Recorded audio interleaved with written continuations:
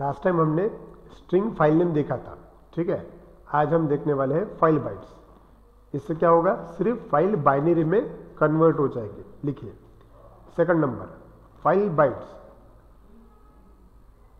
this property is use this property is use to convert this property is used to convert the file into binary format.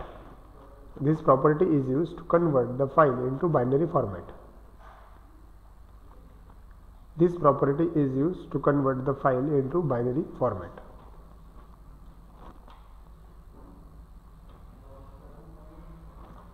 This property is used to convert the file into binary format it will return the data it will return the data in byte array format it will return the data in byte array format it will return the data in byte array format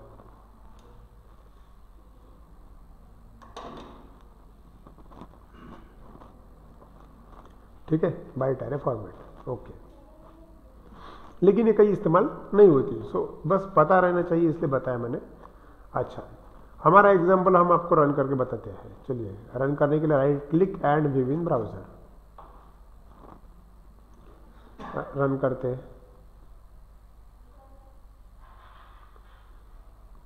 मालूम है, आप लोगों को ये मालूम है कि यहाँ से अगर कोई फ़ाइल सिलेक्ट होती है, बराबर? यहाँ से अगर कोई फ़ाइल सिलेक्ट होती है फॉर एग्जांपल चलिए मैंने ये कोर पाइथन वाला फ़ोटो ही है सिर्फ़। डबल क्लिक किया, आया core python four dot JPG ठीक है, और सबमिट बटन पे क्लिक किया। तो उसका सिर्फ़ नाम आता है core python four dot JPG file का नाम आया सिर्फ़। ये हमने इससे पहले किया हुआ है। अब एक काम करते हैं, अब देखो, है? मैंने रन किया, और मैंने सिर्फ़ सबमिट बटन पे क्लिक किया तो। मतलब मैंने फ़ाइल सिलेक्ट नहीं की, और सबमिट बटन पे क्लिक किया। तो एक्चुअली क्या हो रहा है? क्या होना चाहिए था? अगर मैंने सबमिट बटन पे क्लिक कर रहा हूँ तो सिस्टम ने बोलना चाहिए ना मुझे प्लीज़ चूज़ अ फ़ाइल बराबर, अभी क्या हो रहा है? फ़ाइल चूज़ नहीं होने के बावजूद भी बटन क्लिक हो रहा है और कोई ऑपरेशन भी परफॉर्म नहीं हो रहा है। ऐसा नहीं होना चाहिए था। मैं चाहता हूँ कि अगर मैंने कोई फ़ाइल अपलोड की है तो उसका नाम आ जाए। बराबर, देखो ये, दूसरा फ़ोटो लेता हूँ। ये picture six dot G submit किया, नाम आया। लेकिन अगर मैंने कुछ भी सिलेक्ट नहीं किया और अपलोड किया तो? तो सिस्टम ने चूज़ करना चाहिए। बराबर? चेक करना चाहिए कि कोई फ़ाइल सिलेक्ट की है या नहीं। ठीक है? क्योंकि उसके ऊपर तो आगे ऑपरेशन डिपेंड करेगा। इमेजिन कीजिए, आप लोगों ने सबमिट बटन के क्लिक पे डेटाबेस में सेव करने का कोड लिखा हुआ है। और यहाँ से कोई फ़ाइल सिलेक्ट ही नहीं हुई तो डेटाबेस में क्या स्टोर होगा? हवा। बराबर? गड़बड़ हो जाएगी नल वैल्यू चली जाएगी डेटाबेस में एरर्स आ सकते हैं काफ़ी सारे। एप्लीकेशन क्रैश हो सकता है। देखने के लिए बहुत छोटी सी बात है। अरे यार फ़ाइल सेलेक्ट करना भूल गया था। छोटी सी बात है। लेकिन उसके कॉन्सिक्वेंसेज बहुत भयंकर हो सकते हैं। इसलिए मैं चाहता हूँ कि कोई भी फ़ाइल सबमिट मतलब कोई भी कोड एग्जीक्यूट होने से पहले पहले मैं ये चेक करूँ कि इसने फ़ाइल सिलेक्ट की है क्या नहीं। क्लियर और ये करने के लिए हमारे पास एक प्रॉपर्टी होती है। इस प्रॉपर्टी का नाम है हैज़ फ़ाइल हैज़ फ़ाइल नाम है उसका और उसका रिटर्न टाइप है बुलियन बुलियन मतलब ट्रू और फॉल्स ठीक है? तो हैज़ फ़ाइल उसके नाम में है। हैज़ फ़ाइल मतलब फ़ाइल है या नहीं? ओके इसकी दो वैल्यूज़ है ट्रू एंड फॉल्स अगर हैज़ फ़ाइल की वैल्यू ट्रू है, इसका मतलब तुम लोगों ने फ़ाइल चूज़ की है। अगर हैज़ फ़ाइल की वैल्यू फॉल्स है, इसका मतलब तुम लोगों ने फ़ाइल चूज़ नहीं की है। करेक्ट यही मुझे करना है। मुझे सिर्फ़ इतना करना है कि सामने वाले बंदे ने अगर फ़ाइल चूज़ की तो उसका नाम आना चाहिए। वो तो पहले ही कोड लिखा हुआ है। लेकिन अगर उसने फ़ाइल चूज़ नहीं की और फिर भी सबमिट बटन पे क्लिक किया तो मैसेज आना चाहिए।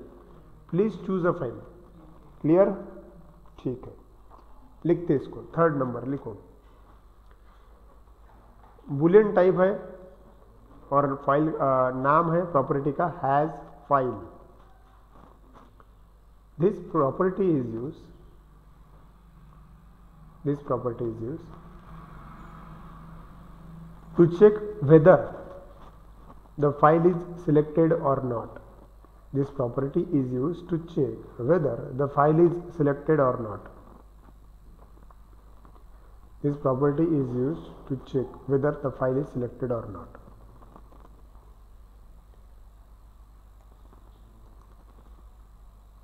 this property is used to check whether the file is selected or not okay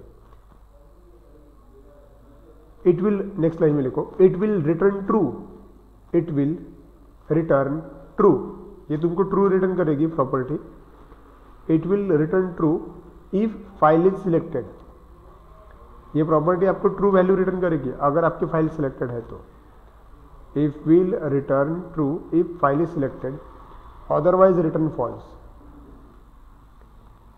otherwise return false. It will return true if file is selected, otherwise return false. Done simple है. अगर has file की value true आई, इसका मतलब file selected है. अगर has file की value false आई, इसका मतलब फ़ाइल सिलेक्टेड नहीं है. ठीक है? अभी हमको इसका इस्तेमाल करके देखना है. ठीक है, चलो करते ध्यान दो अभी. कोशिश कर, अब देखो, ये प्रोग्राम आपको ही करना है, ठीक आपको ही मैं पूछने वाला हूँ। देखो, क्या होना चाहिए? आपको ये मालूम है कि सामने वाला बंदा यहाँ से कोई फ़ाइल चूज़ करेगा। यहाँ से कोई फ़ाइल चूज़ करेगा। फॉर एग्ज़ाम्पल यहाँ से इसने ये वाली पिक्चर फोर नाम की फ़ाइल चूज़ की है। और सबमिट बटन पे क्लिक किया तो पिक्चर फोर लिख के आया, नाम लिख के आया। ये बार इसका कोड तुम ऑलरेडी लिख चुके हो। लेकिन कोई आया और उसने डायरेक्टली सबमिट बटन पे क्लिक किया तो सिस्टम ने बोलना चाहिए कि please choose a file correct exactly मतलब तुमको क्या करना है? बटन क्लिक करने बाद कोड तो एग्जीक्यूट करना है, लेकिन पहले चेक करना पड़ेगा कि इसने फ़ाइल सिलेक्ट की है कि नहीं करेक्ट है?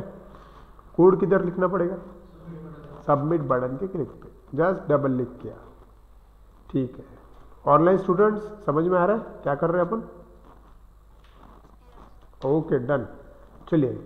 क्या करना पड़ेगा? ये लाइन जो है, इसको एग्जीक्यूट करना है अपने को। सही है? लेकिन लेकिन, ये लाइन एग्जीक्यूट करने से पहले पहले चेक करना पड़ेगा ना। ये लाइन एग्जीक्यूट करना है, ठीक है। ये तो वैसे भी एग्जीक्यूट हो ही रही है। अरे, लेकिन इससे पहले हम ये चेक करना चाहते हैं कि फ़ाइल सिलेक्ट की है कि नहीं की है। ठीक चलो, कैसे बताइए? बराबर। तुम्हारे दिमाग में क्या आ रहा है, सोचो। एग्जैक्टली. मैं तुमसे सिर्फ़ इतना एक्सपेक्ट कर रहा हूँ कि तुम्हारे दिमाग में आना चाहिए कि सर अपने को कंडीशन लगाना पड़ता। इतना भी तुम्हारे दिमाग में आया मतलब हो गया प्रोग्राम यही एक्सपेक्टेड था मुझे। कंडीशन लगाना पड़ता, ये मतलब ये क्या? है ये है लॉजिक आइडिया क्योंकि अगर ये प्रोग्राम जावा में होता स्टेटमेंट अलग अलग प्रोग्राम में अलग अलग अलग अलग लैंग्वेज में अलग अलग होते हैं। लेकिन सभी लैंग्वेज में एक ही चीज़ कॉमन होती है, वो होती है लॉजिक आइडिया तरीका, ठीक है? ओके इतना क्लियर होगा कि भाई कंडीशन लगाते हैं। ओके ठीक है। कंडीशन कैसे लगाते हैं? ई फेल्स ठीक है। सी लैंग्वेज में हमने ई फेल्स पढ़ा था।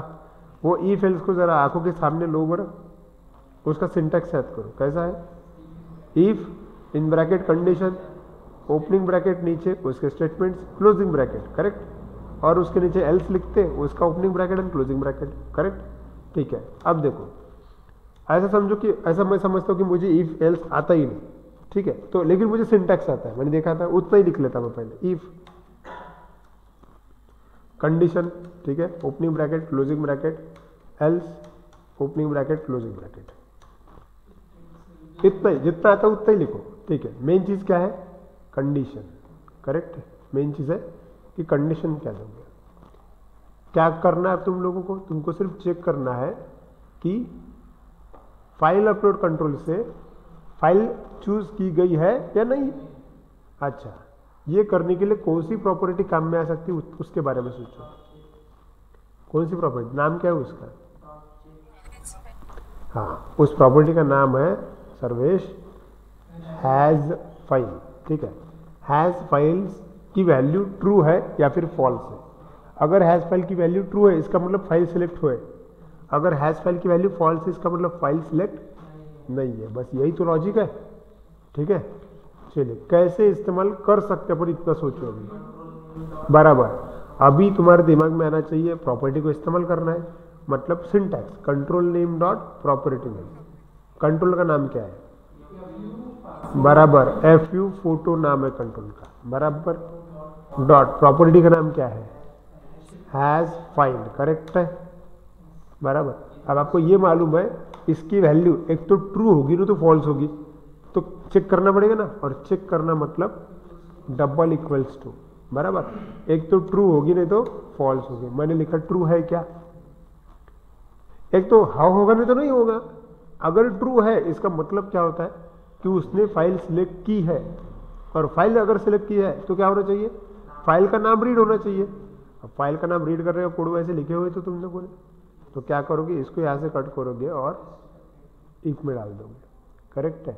लेकिन मुझे बताओ अगर ये ट्रू नहीं है फ़ाइल सिलेक्ट ही नहीं है तो फिर एरर मैसेज मतलब एल्स में जाना चाहिए बराबर शाबाश। एल्स में जाना चाहिए क्या? बराबर मैसेज आना चाहिए ना उसके लिए लेबल तो ही L L M H dot text request क्या मैसेज दोगे क्या?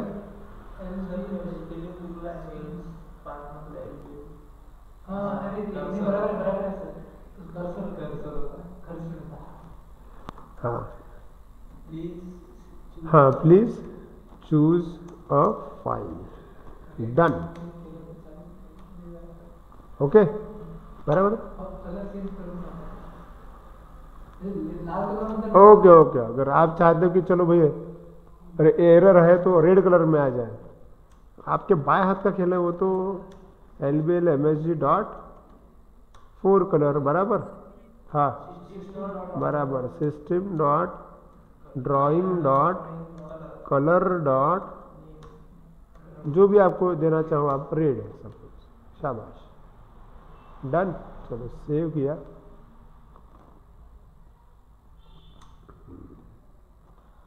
करके देखते हैं। अभी जस्ट रिफ्रेश किया, ठीक है? अब मैं डायरेक्ट सबमिट बटन पे क्लिक करता हूँ।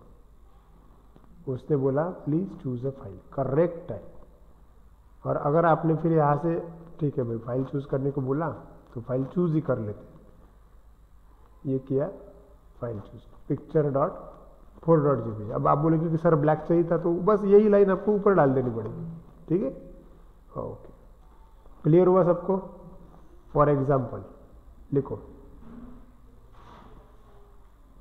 हैज़ फ़ाइल के बारे में। ऐसा लिखो write a program to check write a program to check हाँ। लिख लो इसको फॉर एग्ज़ाम्पल ड्रॉ किया। क्या बोला मैंने? Write a program to check whether the file is selected और नॉट सिर्फ़ इतना ही ये प्रोग्राम है, छोटा सा प्रोग्राम है। खुद के मन से प्रोग्राम लिखने की कोशिश करो। पहले ड्रॉ कर लो। और ड्रॉ करने के बाद स्क्रीन के ऊपर कोड दिया हुआ ही है लेकिन कोशिश करो। Write a program to check whether the file is selected और नॉट बस इतना ही प्रोग्राम है ये। प्रोग्राम तुम्हारे सामने ही है। कोशिश करो मन से लिखने का। नहीं आया तो स्क्रीन पे देख लेना। हो गया सबका? ठीक है। अब आगे बढ़ते हैं। हम्म? अब जो मेन काम है फ़ाइल अपलोड का, वो तो है सेव करना, बराबर? हाँ अब तक के जो प्रॉपर्टी देखी थी तो बेसिक प्रॉपर्टी है। मेन प्रॉपर्टी है ये। क्या है? सेव एज बराबर। इसकी मदद से हम जो चाहे उस पाथ पे अपनी फ़ाइल सेव कर सकते हैं। बड़ा ही आसान मेथड है प्रॉपर्टी है। क्या है? सेव है। सिंपल है। जो भी तुम पाथ दोगे, उस पाथ पे फ़ाइल सेव हो जाएगी। कोई प्रॉब्लम नहीं है। ठीक है। लिखिए फोर्थ नंबर सेव एज लेकिन लिखते वक्त जरा ध्यान से लिखना। एस कैपिटल है। ए कैपिटल है उसका। और एक ही वर्ड है। Save as in bracket string type का पाथ पास करना पड़ता है आपको। जिसमें भी आपको आपकी फ़ाइल सेव करनी है। लिखिए इसके बारे में। This property is use this property is use to save the file this property is use to save the file on specific path this property is use to save the file on specific path.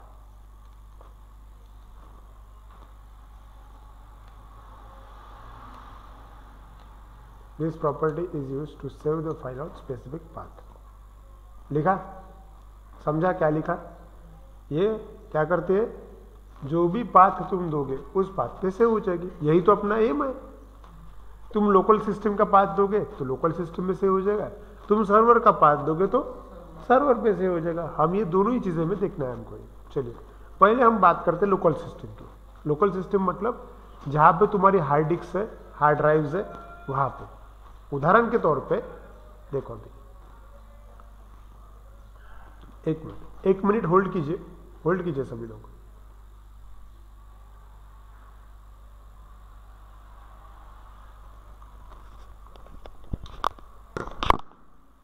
हाँ सुनिए हम्म okay ठीक आहे ना म्हणजे माझ्या अकाउंटून केलं काय म्हणजे कशावर केलं फ़ोन पे, गुगल पे। काय म्हटलं ओके, हाँ त्याच्यावरच केले बरं आता पाठवले का एक दोन हजाराची आली मला रिसिप्ट अगं असं केलं काय वेगवेगळे पाठवले काय बरं बरं बरं ठीक आहे बरं बरं, ठीक आहे काही प्रॉब्लेम नाही ठीक आहे मी बॅच घेऊन राहिलो मी बॅच झाली की पाठवतो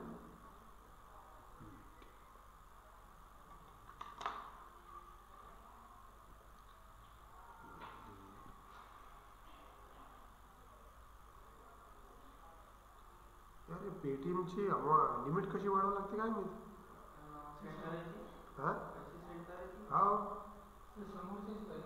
नाही नाही नाही काय होतं माहिती का? आपलं क्यू आर कोड आहे की नाही? दोन हजारच्या वर अमाऊंट ॲक्सेप्टच होत नाही. आम्ही मग हे काय मानतो? हाँ? अबे पण ते असं नाही व्हायला पाहिजे ना. हाँ तर मग आता तेच झालं. त्याला पाठवायची ती मोठी रक्कम होती तर त्याने टप्प्या टप्प्या टप्प्या टप्प्यात पाठवलं.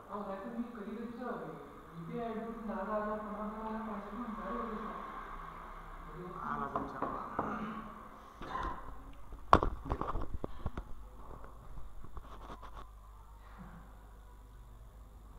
ठीक है ओके हम्म हम्म अब क्या चाहते हैं अपन? हमने ये प्रॉपर्टी लिखी है कौन सी? सेव एज वाली अब हमें ये करना है हम्म, कि जब भी कोई फ़ाइल यहाँ से चूज़ हो तब मैं बटन के क्लिक पे मैं इस बटन का नाम भी अपलोड देना चाहता हूँ और इस बटन के क्लिक पे ये फ़ाइल फिजिकली कहीं तो भी स्टोर हो जाए। अब कहीं तो भी मतलब हार्ड डिस्क में स्टोर करना पड़ेगा। अब चलिए हार्ड डिस्क में बोले तो यहाँ पे, देखो। ये मेरे ड्राइव्स हैं, ठीक है? बड़ा काम है। ठीक है, अब मेरे पास हार्ड डिस्क काफ़ी बड़ी है, इसलिए बड़े ड्राइव्स है। चलो मैं चाहता हूँ कि मेरे पास जो एल ड्राइव है, उस ड्राइव के अंदर देखो, ये है मेरा एल ड्राइव सपोज़ है? इस ड्राइव के अंदर एक फोल्डर हो, और उस फोल्डर के अंदर जो भी आपने अपलोड की हुई फ़ाइल है वह आ जाए। क्लियर हो रहा है? ठीक है ओके तो एक फोल्डर तो बनाना पड़ेगा। मैं एक जगह बना लेता हूँ, एक फोल्डर बना लेता हूँ। चलो, मैं यहाँ पे, मैं नाम देता हूँ सपोज़ डॉक्यूमेंट्स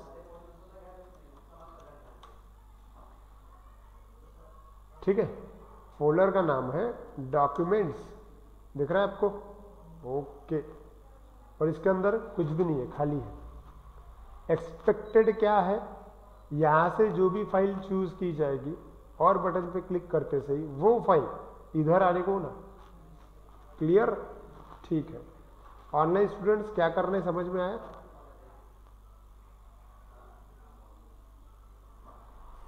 ओके चलो, करते हैं करते हैं। सबमिट बटन जो है, उसको मैं अपलोड नाम दे देता हूँ। ठीक है, अब वो मैं नाम नहीं चेंज करता हूँ उस बटन का। ठीक है अपलोड डन क्या होना चाहिए? कोड लिखना पड़ेगा। होना क्या चाहिए? देखो।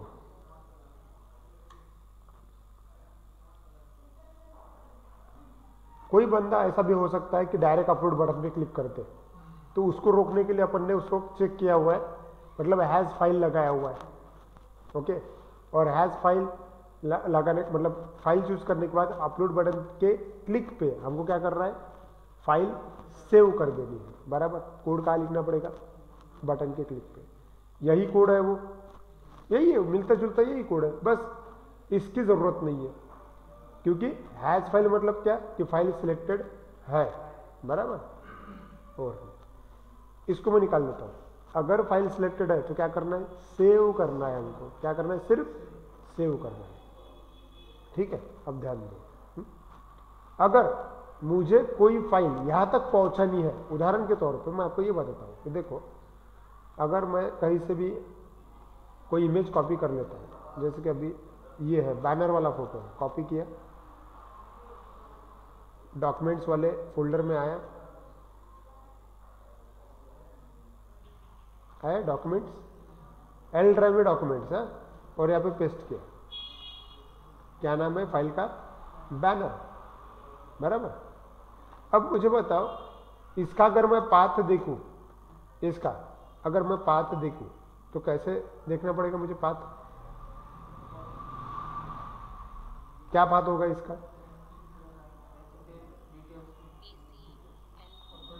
हाँ अगर आपको पाथ देखना है तो यहाँ पे क्लिक कर दीजिए। आपको ये चीज़ मिल जाएगी। इसको मैं यहाँ से कॉपी कर लेता हूँ। मुझे सिर्फ़ पाथ पता करना है, ठीक है?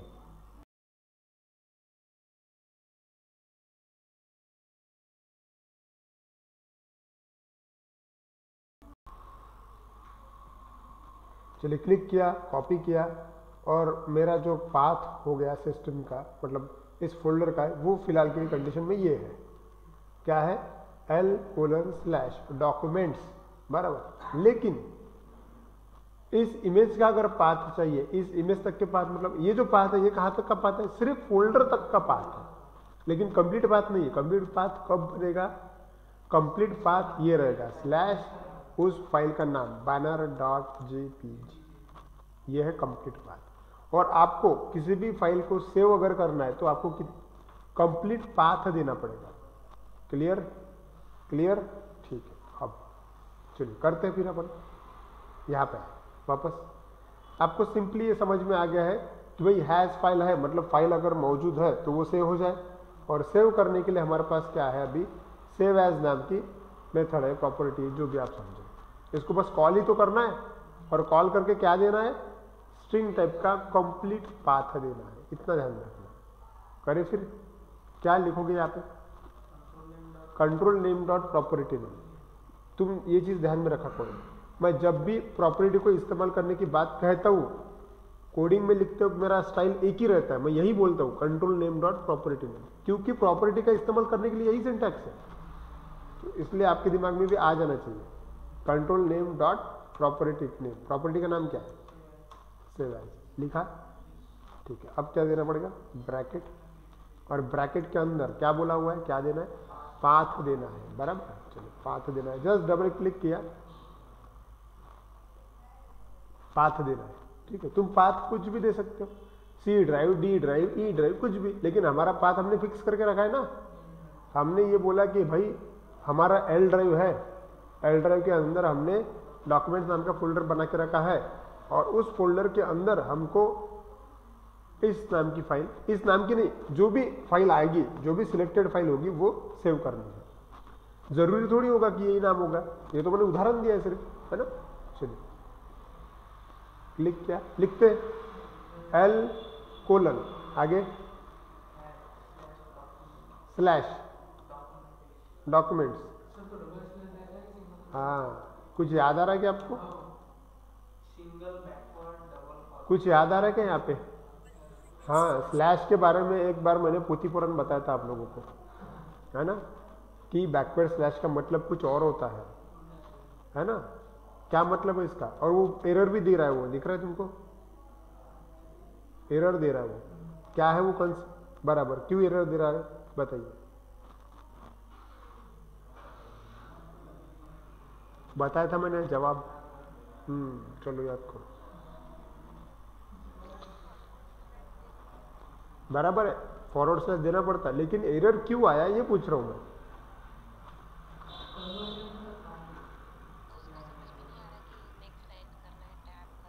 एग्जैक्टली टेक्निकली आंसर क्या है? मतलब वो मैं वर्ड पूछ रहा हूँ तुमको इस चीज़ को कुछ तो बोलते हैं ना। एस्केप सीक्वेंस है। हाँ एग्जैक्टली exactly. ये क्या है? आपका जवाब होना चाहिए कि सर, वो एस्केप सीक्वेंस कंसिडर कर रहा है, ठीक है? तो एस्केप सीक्वेंस कंसिडर नहीं करना चाहिए, इसलिए एक तो तुम दो बार बैकवर्ड दे दो, या फिर एक बार फॉरवर्ड दे दो। तुमको जैसा ठीक लगे वैसा करो। एक काम करता हूँ, मैं दो बार बैकवर्ड देता हूँ, ठीक है? डन आगे बढ़ते हैं। चलो, हमको पाथ किस तरह से एक्सपेक्टेड है? इस तरह से। और ये जो बैनर डॉट जेपीजी ये क्या है? ये सिलेक्टेड फ़ोटो फ़ाइल है, बराबर? फ़ोटो का नाम है वो। फ़ोटो का नाम है लेकिन हमने कहा तक के लिखा? यहाँ तक के लिखा। अब क्या लिखना है? स्लैश लिखना है ना। मतलब डॉक्यूमेंट्स के बाद में और स्लैश देना है। इसका मतलब? हाँ डबल स्लैश अब क्या लिखना है आपको? फ़ोटो का नाम। जो फ़ोटो का नाम आने वाला है वो क्या लिखोगे? फ़ोटो का रन टाइम नाम लेना है। कैसे करोगे?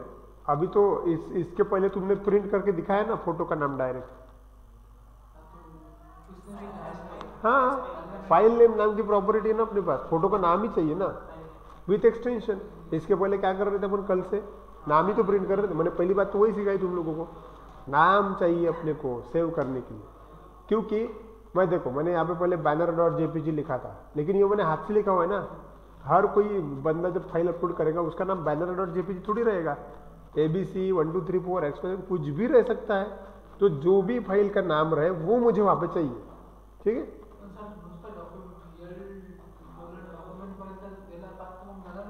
नहीं। तुमको फ़ाइल का नाम रखना पड़ेगा कुछ ना कुछ। फ़ाइल वहाँ तक पहुंचेगी नहीं।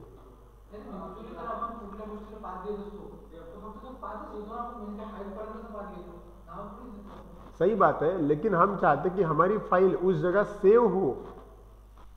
तुमको सिर्फ़ पाथ नहीं देना है तुमको सेव भी करना है। तो सेव करने के लिए फ़ाइल किस नाम से सेव करना है ये उसको बताना पड़ता है इसलिए फ़ाइल का नाम लिखना ज़रूरी है। ठीक है? चलो बताओ, फिर अभी फ़ाइल का नाम लिखना है तुमको। क्या लिखेंगे वहाँ पे?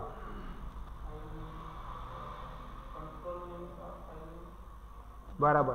फ़ाइल का नाम चाहिए सिर्फ़ कंट्रोल नेम डॉट प्रॉपर्टी का नाम कंट्रोल का नाम है F U photo dot property का नाम है फ़ाइल नेम बराबर ना? तो मैं किधर लिखू? डबल कोट्स के पहले की बाद में? क्योंकि अगर मैंने ऐसा लिखा डायरेक्टली इसके अंदर अगर ऐसा लिखा एफ़ यू फ़ोटो अरे तो वैसा का वैसा आ जाएगा ना। एग्जैक्टली exactly, ये इधर लिख के चलेगा नहीं। किधर लिखना पड़ेगा?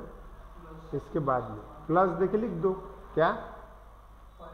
F U photo dot file name done खत्म।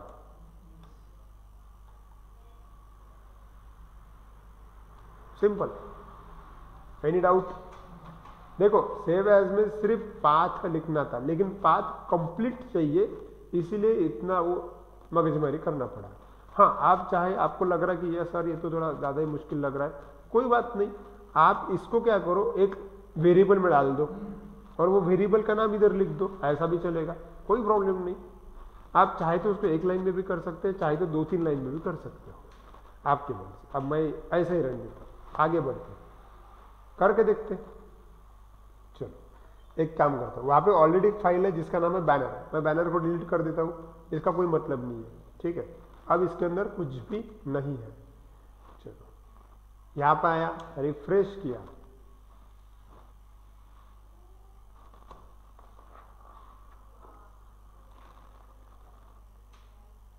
ठीक है। क्या करना पड़ेगा? सिलेक्ट करते फ़ाइल को। क्लिक किया। और कोई भी एक फ़ाइल सिलेक्ट कर लेते हैं। फ़ाइल मतलब तुम कुछ भी सिलेक्ट कर सकते हो। मतलब फ़ोटो कोई आप वीडियो भी सिलेक्ट कर सकते हो, आप कोई पीडीएफ फ़ाइल भी सिलेक्ट कर, कुछ भी, कोई भी फ़ाइल लेकिन फ़िलहाल अपन फ़ोटो ही लेते हैं। उदाहरण के तौर पे आपको दिख रहा है ये, यहाँ पे लिखा हुआ मैंने कोर पाइथन फोर नाम का फ़ाइल है पाइथन फ़ाइल है क्लिक कर दिया। है ना? Core Python four dot JPG इसको मैं क्या करता हूँ? अपलोड करता हूँ। अच्छा एक चीज़ रहेगी है अपलोड बटन के क्लिक पे तुमने मैसेज दिया ही नहीं, फ़ाइल अपलोड सक्सेसफुली ऐसा।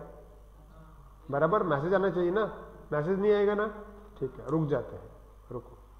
मैसेज दे देते L B L M H G dot text, message दे देते क्या?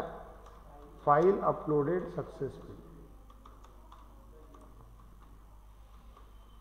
Done. Done. Message सिर्फ़ मैंने। फिर से एक बार कोशिश करते हैं। रन किया रिफ्रेश ओके फ़ाइल अपलोड करता हूँ इस बार।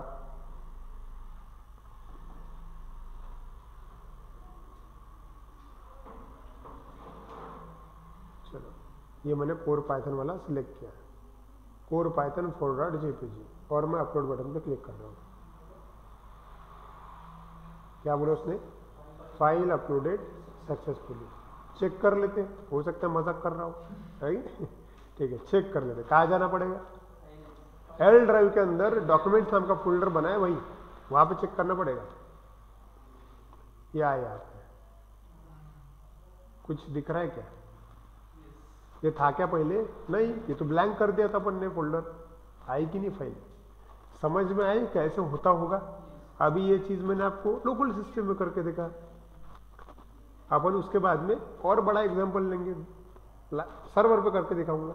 लेकिन ये पहली स्टेप है। मतलब कैसे फ़ाइल पहुँचता है कहीं पे। ठीक है? ओके ऑनलाइन स्टूडेंट समझ में आया कि आपको? बढ़िया। ड्रॉ करना है अभी। ठीक है। ड्रॉ कर लो। जब भी बोलते हो ड्रॉ कर लो तो फिर से ड्रॉ किया करो। ठीक है? ड्रॉ कर लो।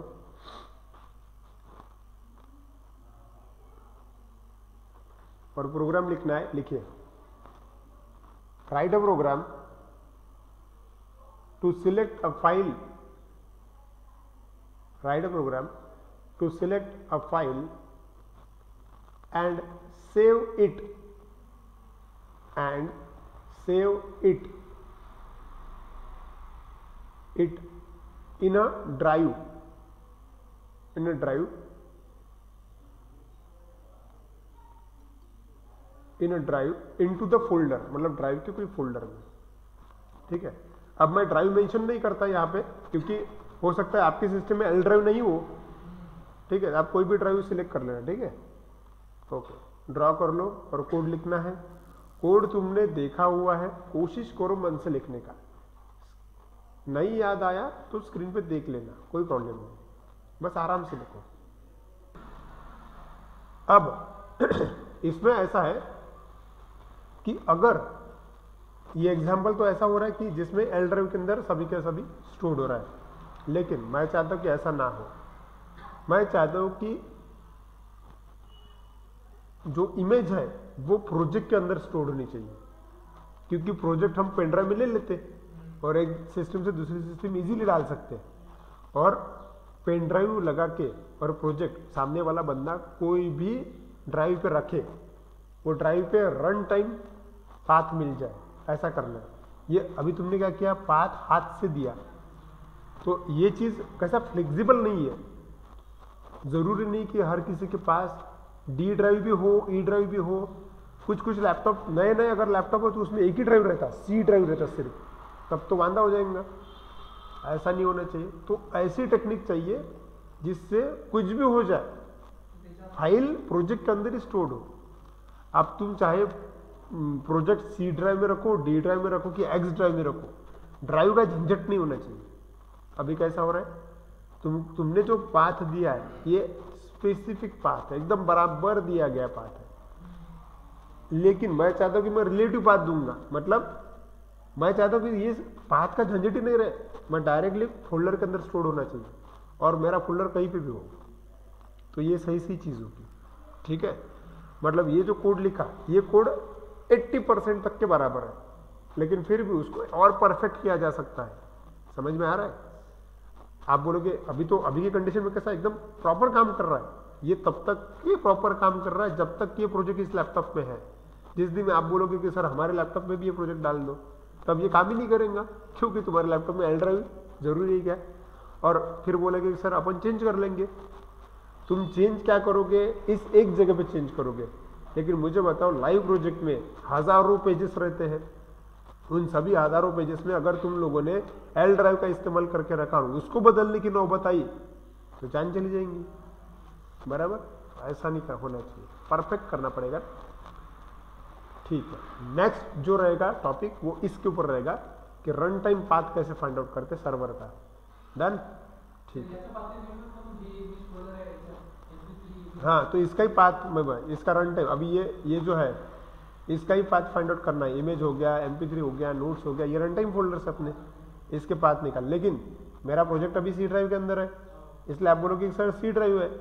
लेकिन ज़रूरी नहीं ना, हमेशा सी ड्राइव में रखेंगे तो ज़रूरी नहीं है। कोई किधर भी रख सकता है। हाँ तो यहाँ पे जो रन टाइम ड्राइव होगा, उस ड्राइव का पाथ निकालते आना चाहिए। ये करना है। ठीक है। एनीवे ठीक है। आज के लिए इतना ही। अभी आपको होमवर्क होमवर्क ये है, ध्यान दो। आप सभी लोगों ने ड्राइव बनाया हुआ है। एल ड्राइव में डॉक्यूमेंट्स नाम का फोल्डर है। ठीक है। अब मैं इमेजिन करता हूँ कि सपोज़ मुझे नहीं लगता कि एल ड्राइव सबके पास होगा, लेकिन एक्सपेक्ट करता हूँ कि डी ड्राइव सबके पास है। सी और डी होती ही है। डी ड्राइव सबके पास है। मैं एक्सपेक्ट कर रहा हूँ कि भाई डी ड्राइव के अंदर डॉक्यूमेंट्स नाम का फोल्डर हो और उसके अंदर मुझे क्या करना है? यहाँ पे दो फ़ाइल अपलोड कंट्रोल चाहिए। एक है चूज़ फ़ोटो और एक है चूज़ सिग्नेचर बराबर? और जब मैं अपलोड बटन पर क्लिक करूँगा, तब ये दोनों ही मुझे अलग अलग फोल्डर में चाहिए। ठीक है? मतलब डॉक्यूमेंट्स के भी अंदर दो फोल्डर्स होने चाहिए। एक होना चाहिए फ़ोटो नाम का, जिसके अंदर फ़ोटो जाना चाहिए, और दूसरा फोल्डर होना चाहिए सिग्नेचर नाम का, जिसके अंदर सिग्नेचर जाना चाहिए। समझा? मतलब मैं यहाँ से जब इसको अपलोड करूँ, देखो, उदाहरण के तौर पे। आपको ये दिख रहा है? यहाँ से फ़ोटो चूज़ होगा और यहाँ से सिग्नेचर चूज़ होगा और अपलोड बटन पे क्लिक होगा। तो फ़ोटो जो है, वो फ़ोटो वाले फोल्डर में चला जाइए और सिग्नेचर जो है सिग्नेचर वाले फोल्डर में चले जाना चाहिए। Clear okay online students clear बढ़िया, ठीक है। तो ये अभी जो मैंने एग्जांपल दिया, ये लाइव एग्जांपल का पार्ट है। ये आना ही चाहिए तुम लोगों को, ठीक है? तो आज के लिए इतना ही।